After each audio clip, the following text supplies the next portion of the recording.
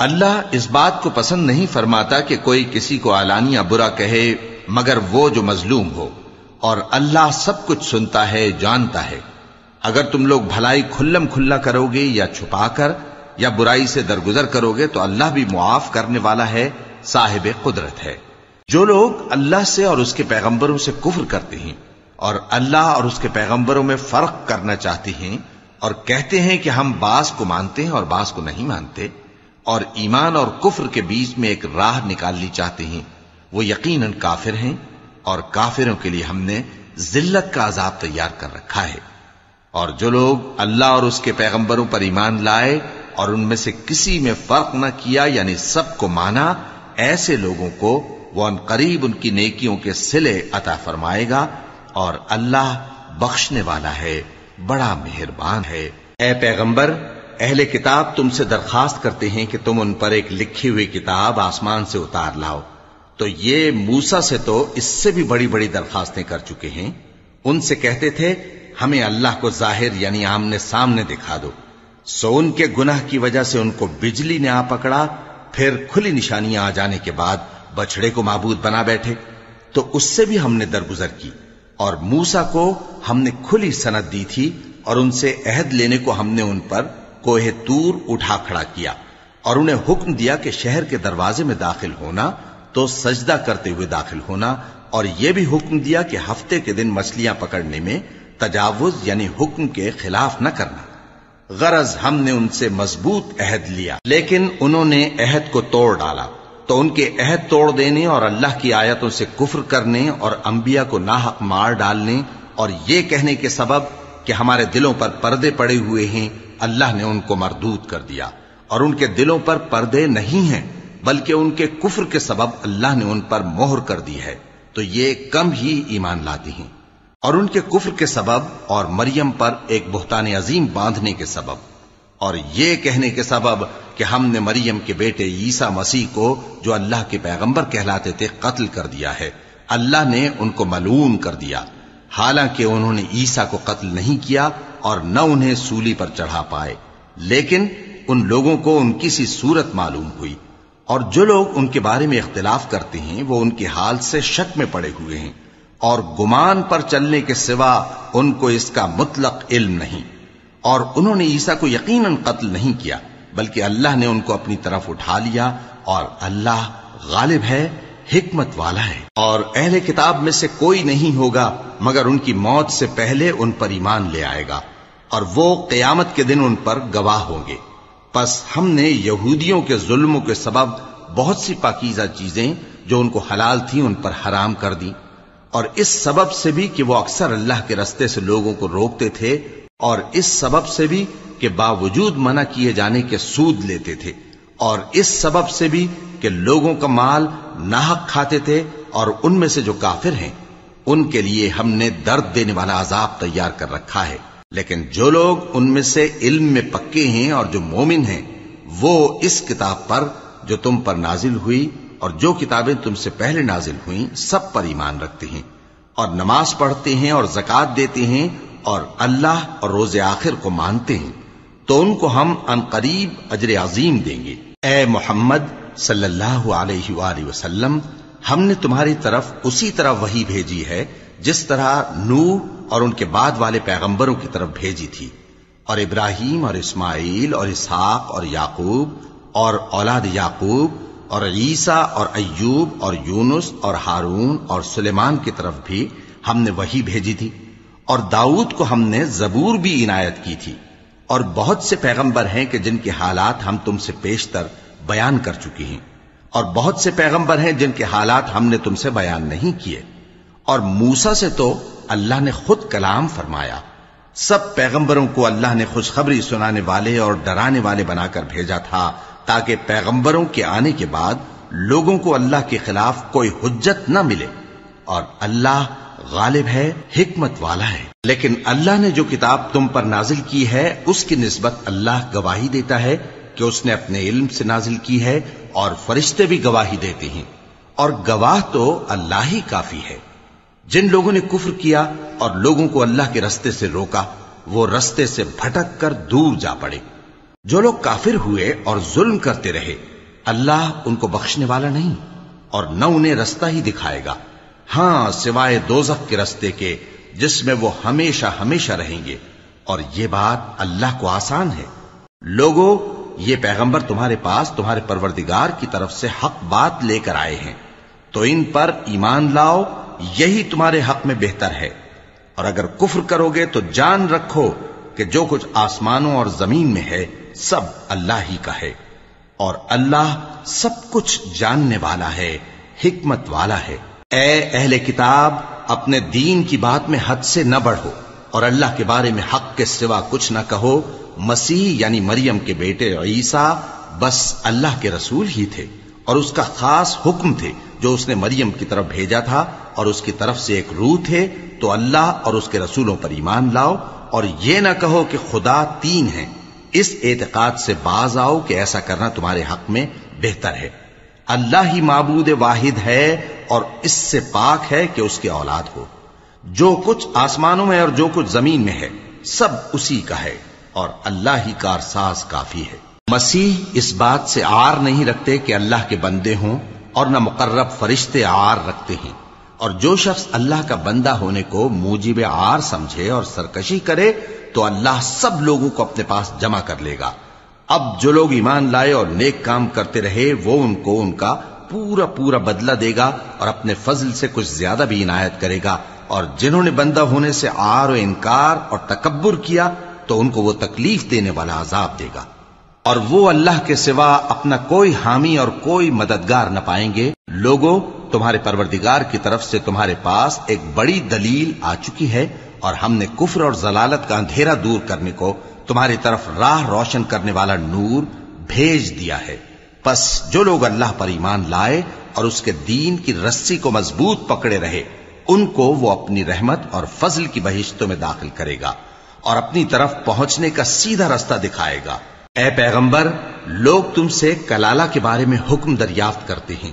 کہہ دو کہ اللہ کلالہ کے بارے میں یہ حکم دیتا ہے کہ اگر کوئی ایسا مرد مر جائے جس کے اولاد نہ ہو اور نہ ماں باپ اور اس کی ایک بہن ہو، تو اس کو بھائی کے ترکے میں سے آدھا حصہ ملے گا۔ اور اگر بہن مر جائے اور اس کے اولاد نہ ہو، تو اس کے تمام مال کا وارث بھائی ہوگا۔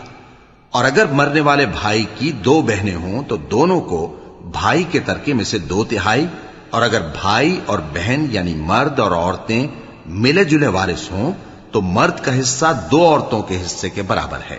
یہ احکام اللہ تم سے اس لیے بیان فرماتا ہے کہ بھٹکتے نہ پھرو، اور اللہ ہر چیز سے خوب واقع ہے۔ شروع اللہ کا نام لے کر جو بڑا مہربان، نہایت رحم والا ہے۔ اے ایمان والو، اپنے معاہدوں کو پورا کرو۔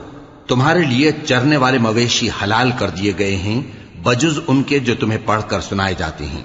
مگر حالت احرام میں شکار کو حلال نہ جاننا۔ اللہ جیسا چاہتا ہے، حکم دیتا ہے۔ مومنوں، اللہ کے نام کی چیزوں کی بے حرمتی نہ کرنا، اور نہ ادب کے مہینے کی، اور نہ قربانی کے جانوروں کی، اور نہ ان جانوروں کی جو اللہ کی نظر کر دیے گئے ہوں، کہ جن کے گلوں میں پٹے پڑے ہوں۔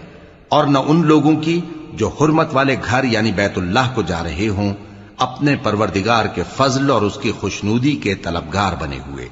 اور جب احرام اتار دو، تو پھر اختیار ہے کہ شکار کرو۔ اور کچھ لوگوں کی دشمنی اس وجہ سے کہ انہوں نے تم کو مسجد حرام سے روکا تھا، تمہیں اس بات پر آمادہ نہ کر دے کہ تم زیادتی کرنے لگو۔ اور دیکھو، نیکی اور پرہیزگاری کے کاموں میں ایک دوسرے کی مدد کیا کرو، اور گناہ اور ظلم کی باتوں میں کسی کے ساتھ تعاون نہ کرو۔ اور اللہ سے ڈرتے رہو۔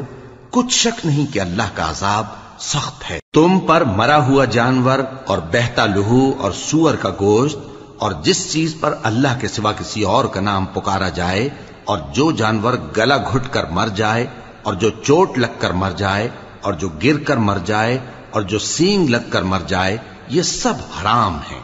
اور وہ جانور بھی جس کو درندے پھاڑ کھائیں، مگر جس کو تم مرنے سے پہلے ذبح کر لو۔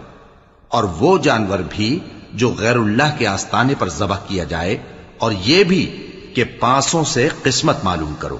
یہ سب گناہ کے کام ہیں۔ آج کافر تمہارے دین سے نا امید ہو گئے ہیں، تو ان سے مت ڈرو اور مجھی سے ڈرتے رہو۔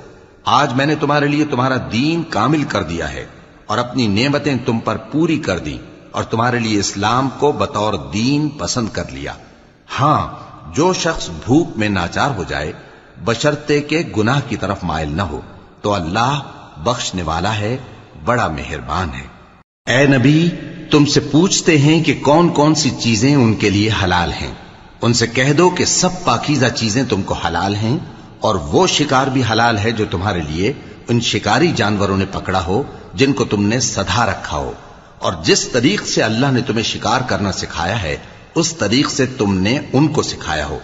تو جو شکار وہ تمہارے لیے پکڑ رکھیں، اس کو کھا لیا کرو اور شکاری جانوروں کے چھوڑتے وقت اللہ کا نام لے لیا کرو۔ اور اللہ سے ڈرتے رہو۔ بے شک اللہ جلد حساب لینے والا ہے۔ آج تمہارے لیے سب پاکیزہ چیزیں حلال کر دی گئیں۔ اور اہل کتاب کا کھانا بھی تم کو حلال ہے اور تمہارا کھانا ان کو حلال ہے۔ اور پاک دامن مومن عورتیں اور پاک دامن اہل کتاب عورتیں بھی حلال ہیں۔ جبکہ ان کا مہر انہیں دے دو۔ اور نکاح سے عفت قائم رکھنی مقصود ہو، نہ کہ کھلی بدکاری کرنی اور نہ چھپی دوستی کرنی۔ اور جو شخص ایمان کا منکر ہوا، اس کے عمل ضائع ہو گئے اور وہ آخرت میں نقصان پانے والوں میں ہوگا۔ مومنو، جب تم نماز پڑھنے کا قصد کیا کرو، تو اپنے منہ اور کوہنیوں تک ہاتھ دھو لیا کرو اور سر کا مسح کر لیا کرو اور ٹخنوں تک پاؤں دھو لیا کرو۔ اور اگر جنابت کی حالت میں ہو، تو نہا کر پاک ہو جایا کرو۔ اور اگر بیمار ہو یا سفر میں ہو یا کوئی تم میں سے بیت الخلا سے ہو کر آیا ہو یا تم نے عورتوں سے مقاربت کی ہو، پھر تمہیں پانی نہ مل سکے تو پاک مٹی لو اور اس سے منہ اور ہاتھوں کا مسا یعنی تیمم کر لو۔ اللہ تم پر کسی طرح کی تنگی نہیں کرنا چاہتا، بلکہ یہ چاہتا ہے کہ تمہیں پاک کرے اور اپنی نعمتیں تم پر پوری کرے تاکہ تم شکر کرو۔ اور اللہ نے جو تم پر احسان کیے ہیں ان کو یاد رکھو اور اس کے عہد کو بھی جس کا تم سے قول لیا تھا۔ یعنی جب تم نے کہا تھا کہ ہم نے اللہ کا حکم سن لیا اور قبول کیا۔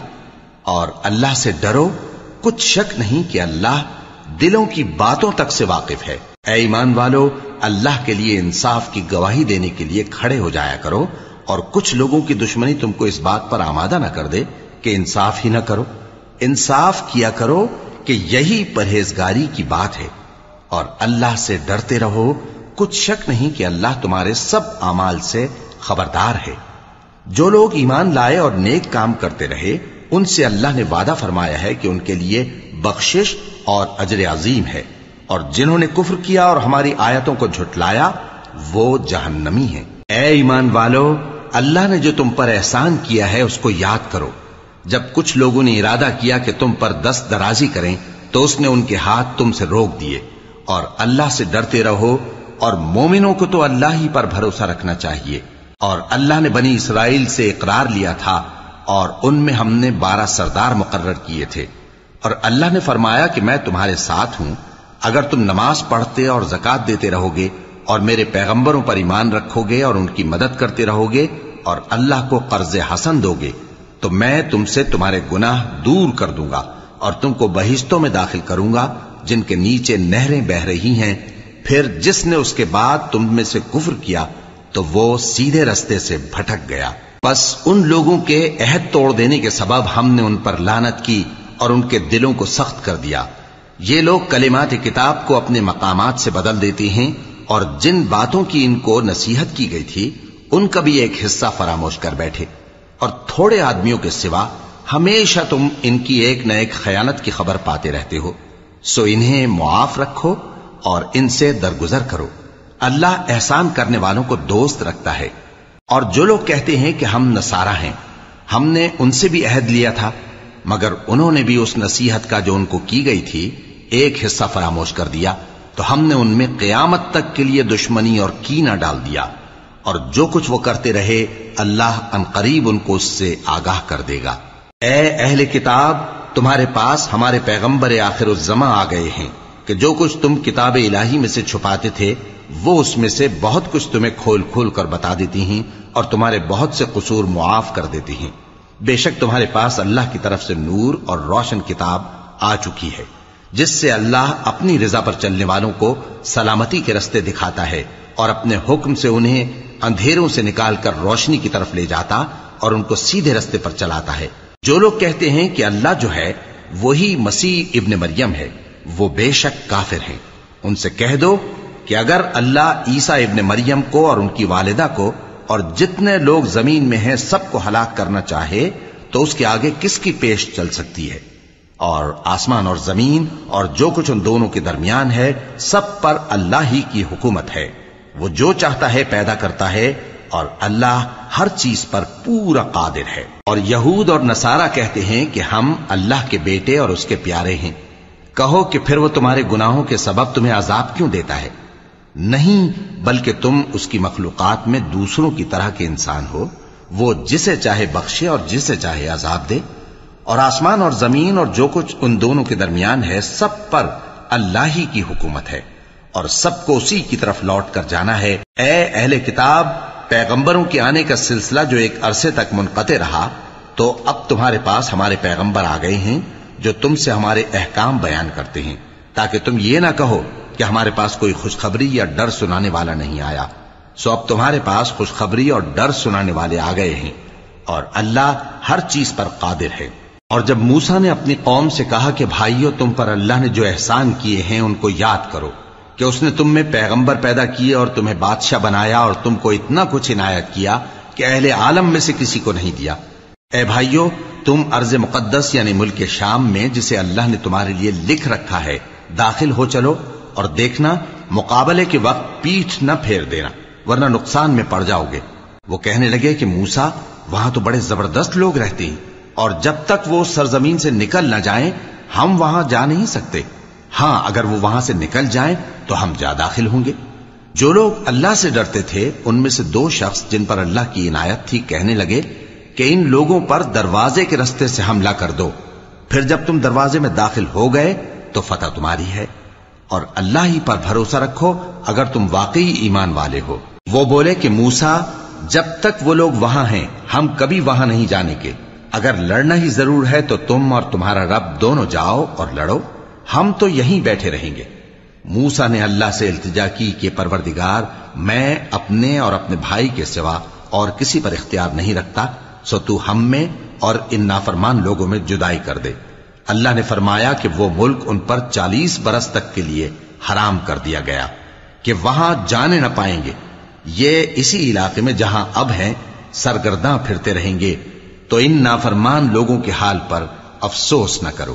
اور اے نبی، ان کو آدم کے دو بیٹوں حابیل اور قابیل کے حالات جو بالکل سچے ہیں پڑھ کر سنا دو، کہ جب ان دونوں نے بارگاہ الہی میں ایک ایک نیاز پیش کی تو ایک کی نیاز تو قبول ہو گئی اور دوسرے کی قبول نہ ہوئی۔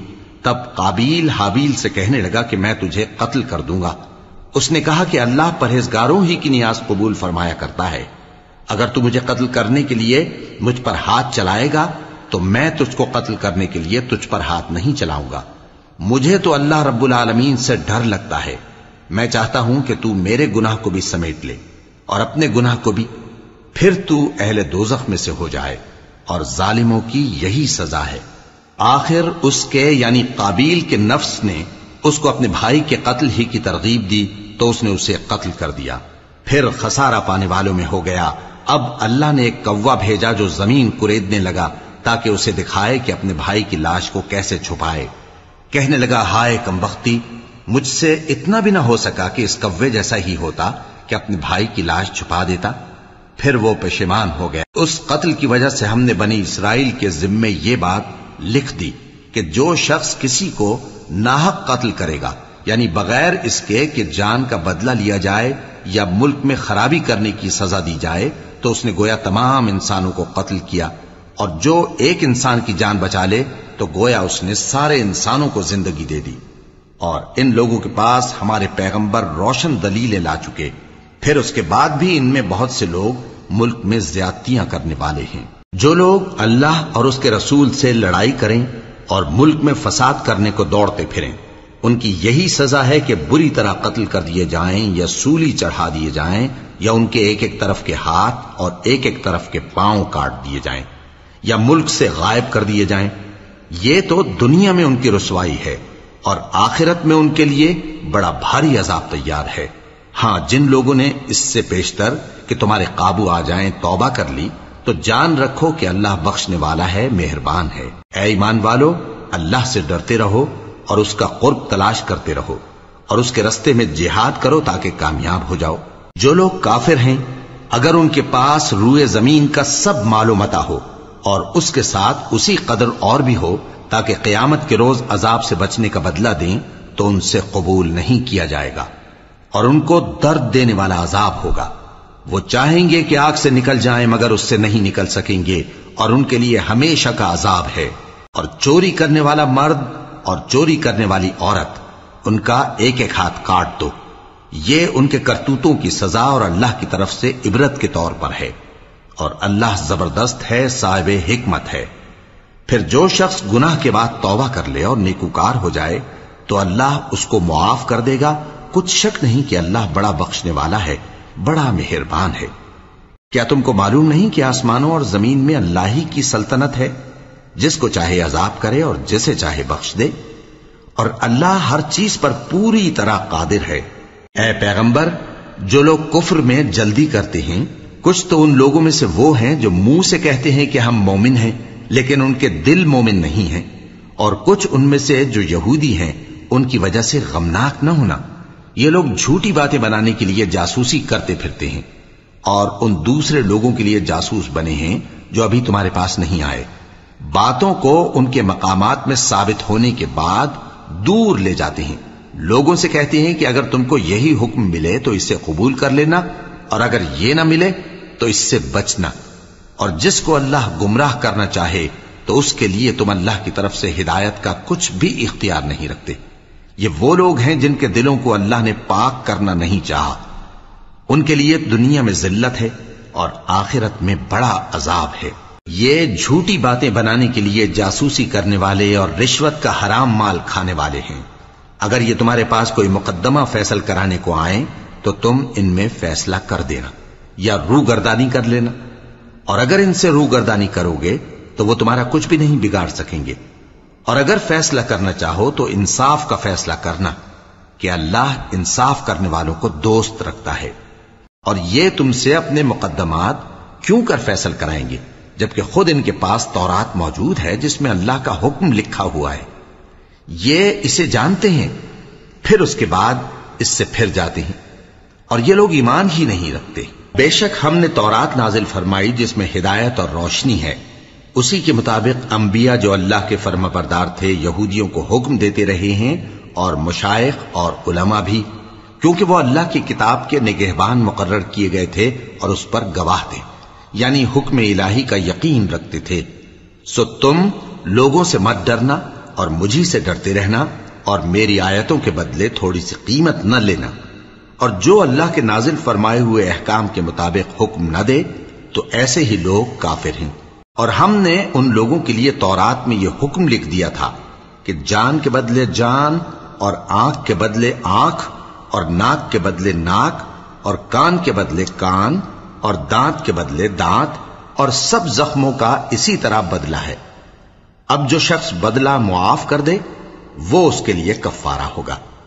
اور جو اللہ کے نازل فرمائے ہوئے احکام کے مطابق حکم نہ دے تو ایسے ہی لوگ بے انصاف ہیں۔ اور ان پیغمبروں کے بعد انہی کے قدموں پر ہم نے عیسیٰ ابن مریم کو بھیجا، جو اپنے سے پہلے کی کتاب تورات کی تصدیق کرتے تھے اور ان کو انجیل عنایت کی، جس میں ہدایت اور نور ہے۔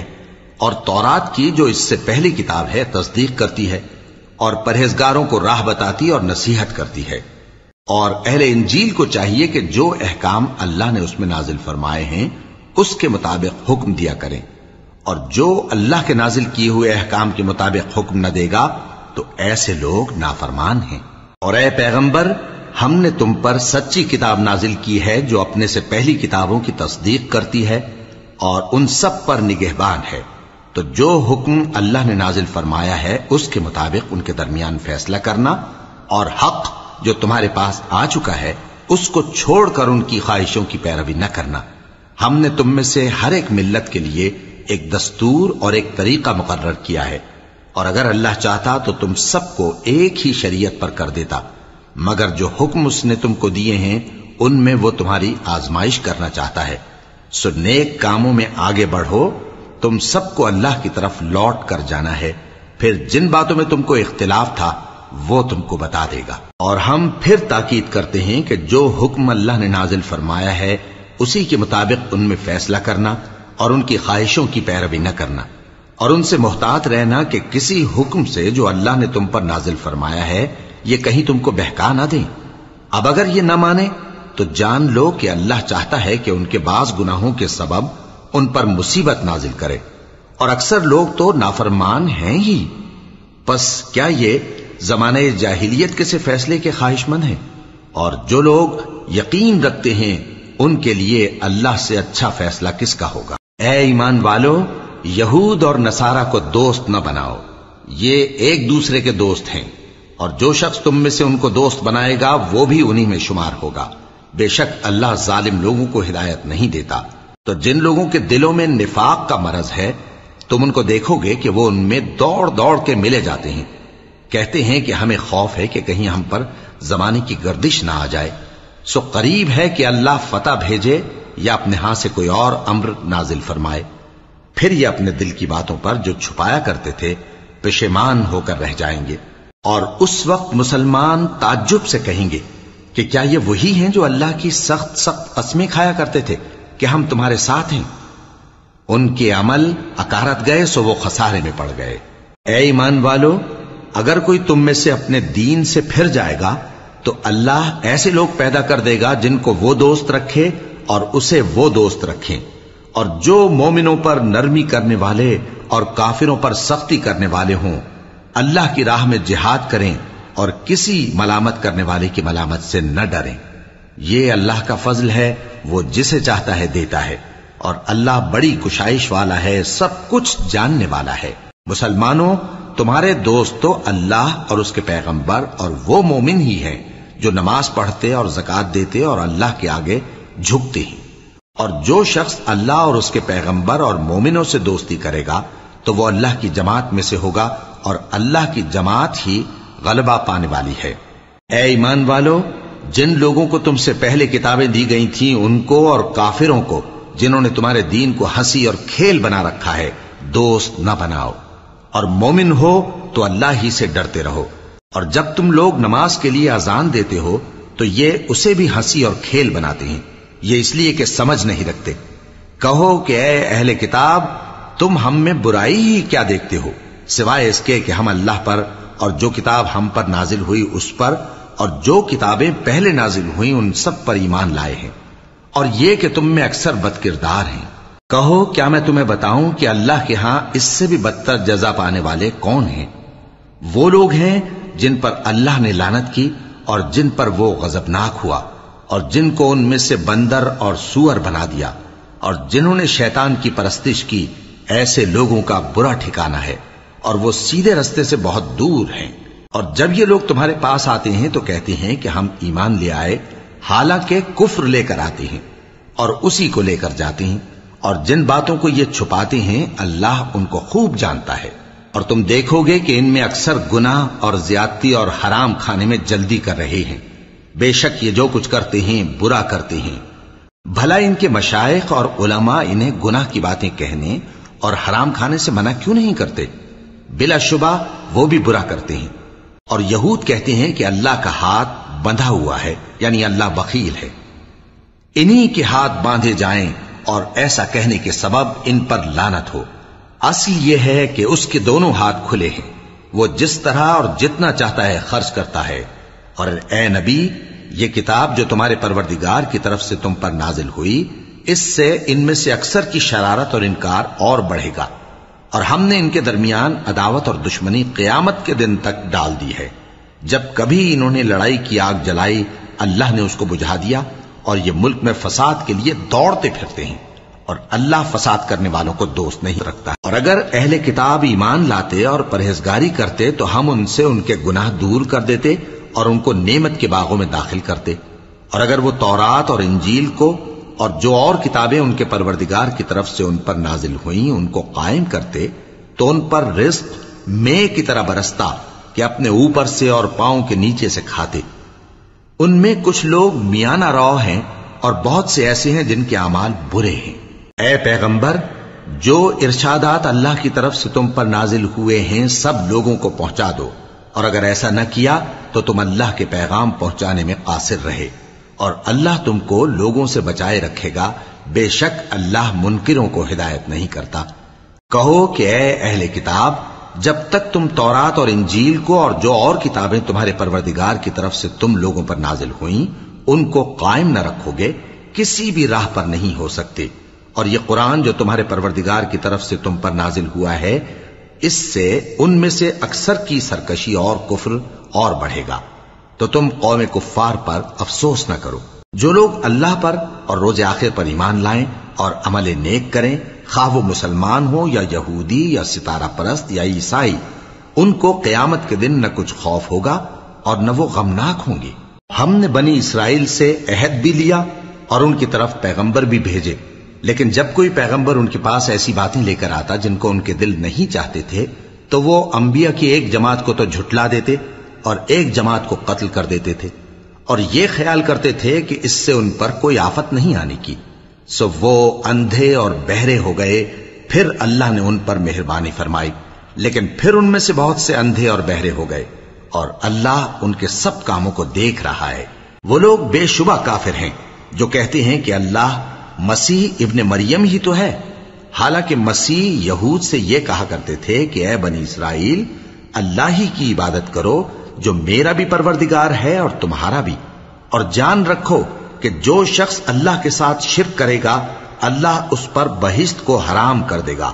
اور اس کا ٹھکانہ دوزخ ہے اور ظالموں کا کوئی مددگار نہیں ہوگا۔ وہ لوگ بھی کافر ہیں جو اس بات کے قائل ہیں کہ اللہ تین میں کا تیسرا ہے۔ حالانکہ اس معبود یکتا کے سوا کوئی عبادت کے لائق نہیں۔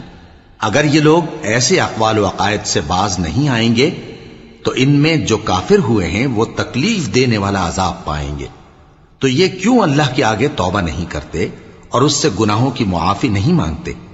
اور اللہ تو بخشنے والا ہے، مہربان ہے۔ مسیح ابن مریم تو ایک پیغمبر ہی تھے۔